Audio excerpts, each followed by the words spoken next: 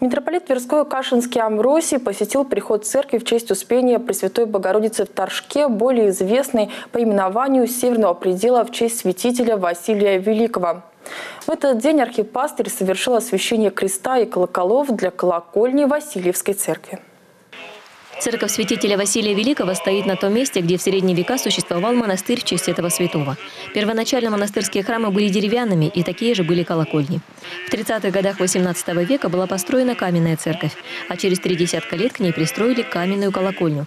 Храм был освящен в честь Успения Богородицы с пределами святителя Василия Великого и святителя Алексея Московского.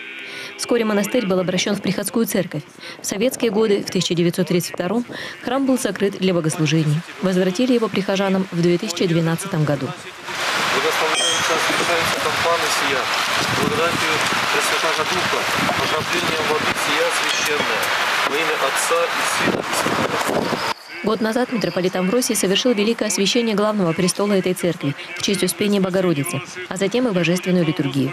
То архиерейское богослужение стало первым после возобновления богослужебной жизни. И вот теперь состоялось освящение колоколов и крестов для храма.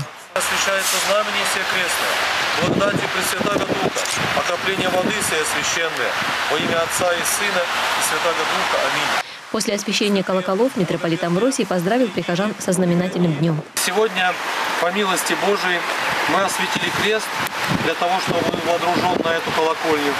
И колокола, которые будут призывать людей к молитве, радовать слух жителей Торжка и его гостей и паломников.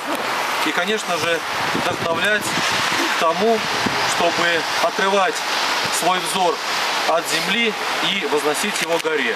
Для того, чтобы, созерцая слыша красоту земною, воспарять умом своим и сердцем своим красоте небесной. Как отметил владыка, колокольня храма была возведена практически за год трудами отца-настоятеля и его соработников при содействии губернатора области Игоря Рудени.